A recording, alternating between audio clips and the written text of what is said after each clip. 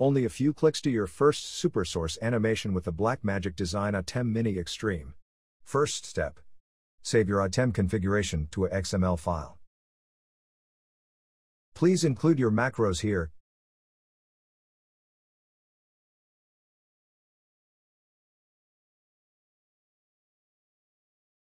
Then go to createmi.eu in your browser.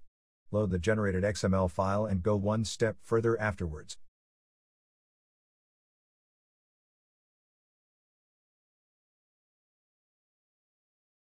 Second step. There are four boxes in your ATEM that can be animated. Fill in the positions for start and end of the animation.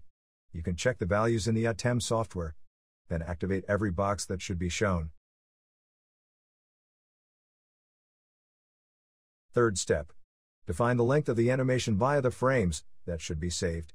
30 frames means 1 second in a video format with 30 pictures per second. Easing can be valuable for a smooth animation. You decide if you want to have no easing with linear effects or select light or strong easing. Strong is recommended to have a slow start and end of the animation instead of hard cuts there.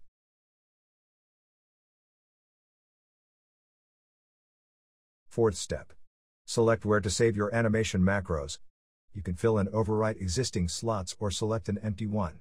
But you also are able to append the newly generated macro to an existing one to create more interesting animations. There will always be a reversed animation too, that can be saved in the same step.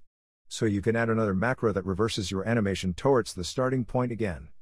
Then go to the next step. Fifth step.